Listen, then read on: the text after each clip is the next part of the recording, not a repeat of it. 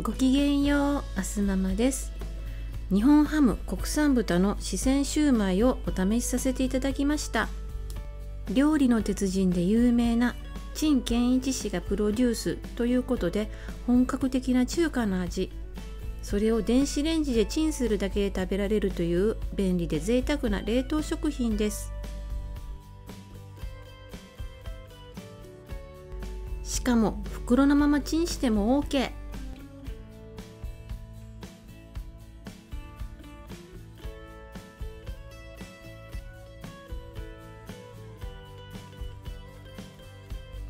トレイを切り離して欲しい分だけをチンすることもできるという細やかな部分への気配りも嬉しいですね。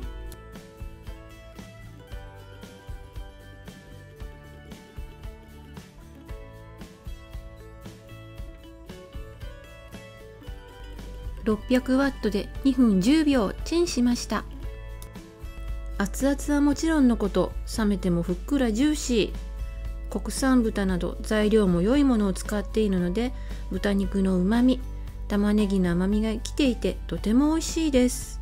お弁当に入れたらとてもボリューミーで存在感があります。時短弁当にとても助かります。